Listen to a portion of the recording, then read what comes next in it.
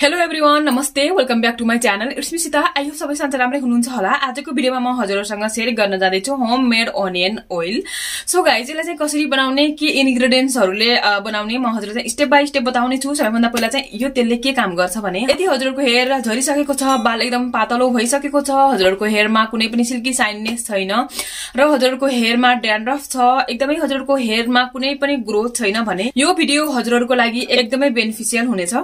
So भिडियोको एन्डसम्म हेर्नुहोला एन्ड च्यानलको सब्सक्राइब गर्नुहोला स्टेप बाई स्टेप बताउने छु सो द भिडियो मैले यहाँ एउटा मात्र प्याज लिएको छु हजुरले आफ्नो हेयरको अकर्डिङ लिनुहोला एन्ड यसको चाहिँ पिल अफ गरेर मैले यसलाई क्रस गर्छु। हजुरले चाहिँ मसिनो गरेर काट्न पनि सक्नुहुन्छ एन्ड मैले चाहिँ इन्स्टेन्ट बनाएर इन्स्टेन्ट यो ओइललाई लगाउने गर्छु।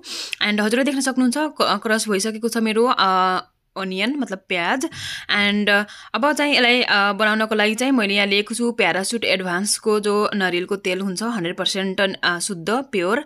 सो हजुरले पनि जुनसुकै नारियलको तेल पनि लिन सक्नुहुन्छ तर चाहिँ त्यो हन्ड्रेड पर्सेन्ट नेचुरल हुनपर्छ। एन्ड अब चाहिँ तेल बनाउने विधि चाहिँ तेल बनाउनको लागि मैले यहाँ लिएको छु एउटा खाली एन्ड क्लिन कन्टेनर त्यो फ्राई पेन एन्ड अब चाहिँ यो नारियलको तेल हालौँ। हजुरले आफ्नो हेयरको अकर्डिङ हाल्नु होला। मैले चाहिँ तिनदेखि चार चम्चा जति नारियलको तेल हालेको छु। यो चाहिँ जाडोको दिनमा चाहिँ जमेर चाहिँ यस्तो हुन्छ। घाम दिनमा चाहिँ आफ्नै आफ पगालेर चाहिँ यो एकदमै लिक्विड फर्ममा हुन्छ सो यसलाई चाहिँ पगाल्नुहोस्। हल्का एकदमै लो फ्लेममा चाहिँ ग्यास राख्नु होला। एन्ड अब हामीले क्रस गरेर राखेको अनियन छ नि त्यो अनियनलाई चाहिँ हजुरले यसमा राख्नुहोस्। तेल चाहिँ धेरै गरम हुनु हुँदैन है। एकदमै तेल पग्लिसकेपछि यो अनियनलाई राख्नुहोस्। किनकि हाम्रो तेल चाहिँ हामीले लो फ्लेममा पकाउने छौँ।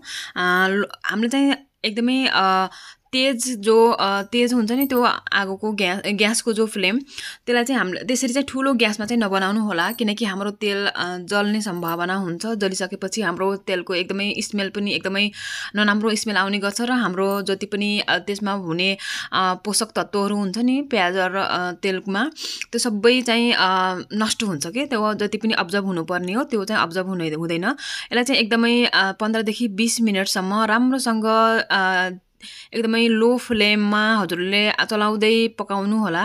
एकदमै जल्न चाहिँ हजुर नदिनु होला। एकदमै यसलाई चलाउनु होला बिचबिचमा।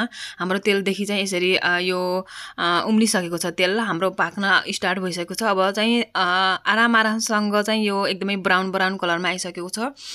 एन्ड हजुरहरूले देख्न सक्नुहुन्छ अब चाहिँ यसलाई हजुरहरूले बन्द गर्न सक्नुहुन्छ। एकदमै धेरै ब्राउन पनि गराउने होइन। हल्का जो हल्का ब्राउन हुन्छ नि त्यस्तो गराउनुहोस्।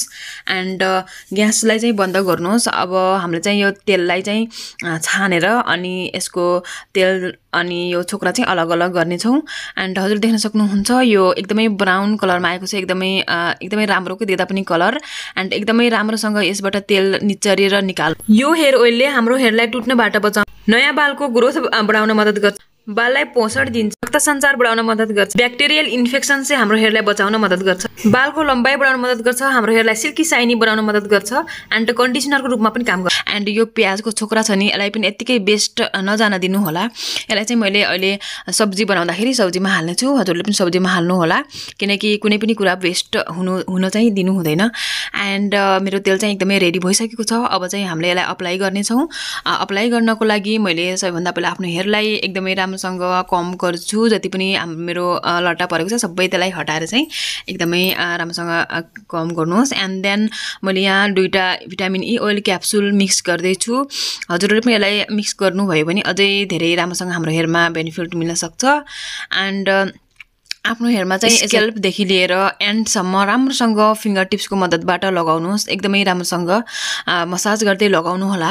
ताकि हजुरहरूको फिङ्गर्सहरू चाहिँ हात चाहिँ एकदमै राम्रोसँग clean and you know hygiene हुनुपर्छ है। नत्र चाहिँ हाम्रो जो फिङ्गर्समा हुने जो ब्याक्टेरिया हुन्छ नि त्यो सबै हाम्रो हेयरमा गएर चाहिँ नराम्रो इफेक्ट पर्न सक्छ। राम्रोसँग लगाउनुहोस् पुरै बालमा। एन्ड किनकि प्याजमा चाहिँ अन्टी एन्टिअक्सिडेन्ट प्रपर्टिज हुन्छ जसले कि हाम्रो हेयरमा ब्लड सर्कुलेसन बढाउन मद्दत गर्छ ड्यान्ड्रफलाई हटाउन मद्दत गर्छ यु नो बाललाई सिल्की साइनी बनाउन मद्दत गर्छ अनि जो हेयरफल हुने जो एन्जाइम हुन्छ नि त्यसलाई पनि सक्रिय गराउन मद्दत गर्छ र हाम्रो हेयरफल हुनबाट रोक्छ। र हाम्रो प्याजमा चाहिँ एकदमै धेरै नै प्रशस्त मात्रामा सल्फर पाइन्छ जो कि हाम्रो स्क्याल्पलाई एकदमै हेल्दी बनाएर चाहिँ हाम्रो हेयरलाई you know healthy and silky shiny and हजुरहरूको हेयर झरिसकेको छ भने पनि फेरि त्यसलाई दुबारा उमार्नको लागि मद्दत गर्छ। र हाम्रो यु नो यो प्याजको तेल चाहिँ हाम्रो हेयरमा कन्डिसनरको रूपमा पनि काम गर्छ। एकदमै बेनिफिट्स छ। हजुरहरूले यसरी हप्तामा दुईचोटि यो ओइललाई बनाएर लगाउनुहोस्। राम्रोसँग पुरै बालमा लगाउनुहोस् एक महिनाभरिको लागि पनि हजुरले बनाएर राख्न सक्नुहुन्छ नत्र भने हजुरहरूले इन्स्टेन्ट बनाएर लगाउन पनि सक्नुहुन्छ। मैले चाहिँ इन्स्टेन्ट बनाएर राख्छु किनकि एक महिनाभरि बना बनाएर राख्दा चाहिँ त्यो तेलदेखि चाहिँ स्मेल आउने गर्छ। तर चाहिँ हजुरसँग हजुरहरूसँग टाइम छैन भने हजुरले एक महिनाभरिको लागि बनाएर हजुरले जब जब ओइल लगाउने तब तब हजुर लगाउन सक्नुहुन्छ। त्यही तेल लगाइसकेपछि हल्का मसाज गर्नुहोस्। एन्ड एक घन्टा पछाडि यो ओइललाई लगाएर आफ्नो हेयरमा चाहिँ एक घन्टाको लागि छोडिदिनुहोस्। एन्ड देन हजुरहरूले फेयर वास गर्न सक्नुहुन्छ। अब चाहिँ मैले हेयर वास गरेर आइसकेको छु। मेरो हेयर चाहिँ एकदमै सिल्की साइननेस फिल भइरहेको छ मलाई। हजुरहरूले पनि यसरी आफ्नो ओइललाई बनाएर युज गर्नुहोला एन्ड फिडब्याक दिन बिल्कुल नबिर्सिनु होला सो गाइज होममेड ओइल बनाउन एकदमै इजी छ हाम्रो हेयरको लागि। कुनै पनि हजुरहरूले यु नो हजार रुपियाँ पैसा खर्च गर्न चाहिँ पर्दैन। हजुरले चाहिँ यसरी ओइल बनाएर चाहिँ आफ्नो हेयरलाई चाहिँ एकदमै ब्युटिफुल बनाउन सक्नुहुन्छ। नेचुरली वेमा आफ्नो हेयरलाई यु नो झर्नाबाट बचाउन सक्नुहुन्छ। झरिसकेको बाललाई पनि हजुरहरूले यसरी फेरि दुबाराहरूले उमार्न सक्नुहुन्छ एन्ड यु नो ड्यान्ड्रफलाई पनि रिमुभ गर्न सक्नुहुन्छ। हजुरको हेयरको ग्रोथ छैन भने पनि यसरी हजुरले ओइल बनाएर हजुरले युज गर्नुहुन्छ भने हेयर ग्रोथ पनि एकदमै हन्ड्रेड पर्सेन्ट हुनेछ। सो भिडियोको अलिकति पनि बेनिफिट्स लाग्छ भने लाइक सेयर कमेन्ट गर्नुहोला। च्यानलको सब्सक्राइब गरेर जान चाहिँ बिल्कुल नबिर्सिनु होला सो भिडियो अहिलेसम्म हेर्नुभयो त्यसको लागि thank you and thanks for watching bye take care